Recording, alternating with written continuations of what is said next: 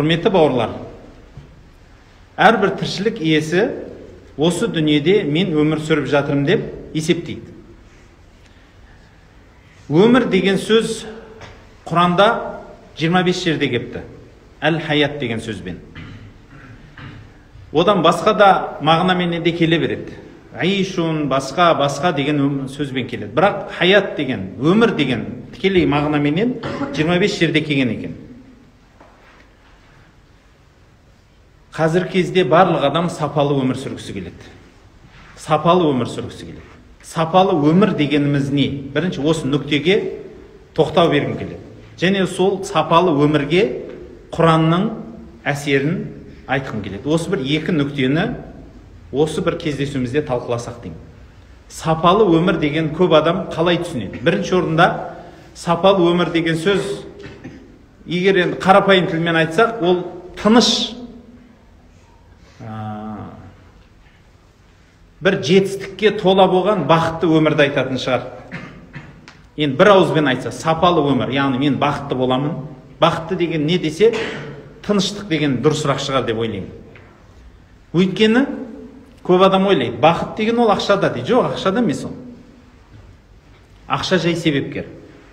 Бақыт деген ол мансапта атақта дейді. Жоқ оның бәрі жай себепкер. Себеп нәрселер. Бұның барлығы себеп. Себеппенен адам өмір сүрсе себепке сүйенсе құлап қалады. Ол дұрыс емес нәрсе. Сол үшін бәлки сол нәрсе саған не сыйлайды? Сол нәрсе саған қалай әсер етеді? Және сен одан кейін қалай өзгересің әңгіме сонда? Яғни сіздің ақшаңыз болса сіз қандай боласыз? Көп адамдарда шынымен ақ сол ішіндегі шынайылығы шығады. Ақшасы болса ол адам тәкаппар болады. Анау мынау адаммен амандаспайды. Ә, садақа зекетін бермейді жағдайы төмендерді кір санайды. Солардан ә, бір нәрсе жұғады деп ойлайды жолы болмағырлық жұғады деп ойлайды. Басқа басқа біртүрлі біртүрлі ақмақтың түсінігінде түсінік пайда болады. Бұл ол адамға өзінің ойында ақ, бір ақша оған бір белгілі бір дәрежеде бу сыйлады тек қана. Бу. Иә тікелей мағынасы да солай. Бу. Ол оны ісірді жай ғана ол соған гүпиіп істі. Гүпиіп іскеннен кейін не болды? Ол ақылын жоғалтты. Сөйтті да ақшасы бар адам барлығы ақылды деген пікір ойлап тапты. Енді ақшасы жоқ адам ақылы жоқ екен.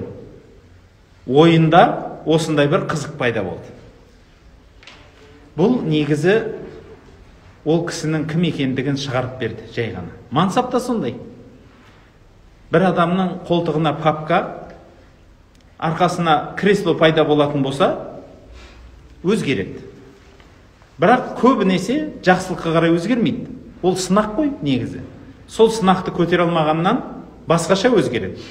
Сол қолтығындағы папка мансапты көтере алмай жоғары қарай мұрнын шүйіріп қайтадан адам алалайтын болады. Той қылса кедейлерді шақырмайды тек пайдасы барлармен араласады. Пайдасы жоқтарға дастарханына тіпті бармайды осылайша тек қана өзінің мансабына қарай өмір сүреді. Ойлайды осы мені барлық жерден алып шығады деп. Бұл да ол кісінің кім екендігін көрсеткен нәрсе ғана. Ол кісінің кім екендігін көрсетті. Сіз бұл дүниеде не тапсаңыз бұл дүниеде не тапсаңыз сізге қалай әсер ететінін көңіл бөліңіз. Тіпті егер бір қандай да бір атақ мансап абырой тағы не осы қалаған бір жетістік деп аталатын нәрсеге жетсеңіз сол жетістігіңіз сізге жақсылық беріп сізді адамилық қасиеттеріңізді арттырмаса онда сіздің өміріңіз сапалы болмайды. Түсінесіз ба өмірдің сапасы дегенге не әсер ететінін сапалы өмір деген не екендігін айтып жатырмыз. Қайтадан айтамын сапалы өмір деген сөз бұл абай атамыз айтпақшы кемел адам болып өмір сүру деген сөз шығар деп ойлаймын. Яғни сен адамилық қасиетің мықты болуы. Сол адамилық қасиетіңді қайрайтын соны татын кетіріп жылтырататын нәрсенің барлығы сенің өміріңе сапа алып келеді. Ең қарапайым нүктеде құрметті бауырлар тағы нақтылап айтамын сіздің адамилық қасиетіңізді қайрап жылтырататын сап қылып тазалайтын нәрсе сіздің өміріңізге сапа алып келеді сапа кіргізеді. Сапалы өмір дегеніміз шын жүректің ішінен мына өмірдің бүкіл барлық нәрсесін сезіне білу. Ал қалған нәрсенің барлығы сізге тек қана маска сіздің көзіңізге жабу сіздің жүрегіңізге жабу болып саналады. Сол үшін психологияда кейбір адамдардың маска тағып жүргендігін түсіндіруменен сосын барып ол кісінің өмірі реттелетіндігін айта бастайды. Түсінесіз ба? Яғни көп адам бір осы дүниедегі қызметіне байланысты ә, басқа басқа басқа өмірде кездескен барлық жағдайларға қарай маска таға береді. Бір адамның бетінде 200-ге жақын мыңға жақын маскасы болады. Неше түрлі маска бар да мысалы? Ақша тапты ол бір маска табылды. Бір мансапқа келді басқа маска киді. Осылайша маска кие бергеннен әлгі адамның бетінде маскасы көптігінен өзінің кім екендігін ұмытып қалады ғой. Ойласаңызшы сөйтеді де сапалы өмір сен үшін не десе ол өзінің мансабына өзінің тапқан ақшасына өзінің себебіне сай өмір сүруді ойлайды. Керісінше себеп сіздің өміріңізге сүйену керек. Сіздің өміріңізді көтеру керек. Сіздің өміріңіз себепке сүйенбеу керек. Түсінесіз ба? Мен осыны түсіндіргім келеді. Яғни сіз бір мансап егесі болсаңыз сіз бір дүние сіз бір атақ сіз бір сондай бір жетістік егесі болсаңыз біліңіз біліп алыңыз.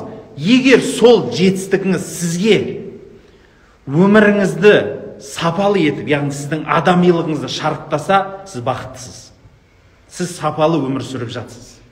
Және керісінше егер сіз өзіңіздің өміріңізді сол жетістігіңізге ыңғайласаңыз соған қарай өзгертсеңіз онда сіз өзіңіздің калияңыздан шыққан адам боласыз. Сіз өзіңіздің арнаңыздан шығып себепке қарай өмір сүрген адам боласыз. Сол үшін біздің асыл дінімізде мынандай түсінік бар. Бір адам судың жағасында отырған үлкен бір әулие кісіге келіп айтыпты. Маған құдайды танытшы депті. Маған құдайды таныт депті да. Сонда айтқан екен бүкіл дүниеңді осы жерде таста да менімен бірге жүр деген екен. Оның мағынасы бүкіл ақшасын тастап кет деген сөз емес мақсат. Түсінесіз ба? Бүкіл дүние дегені қазір психологияда да осыны айтады.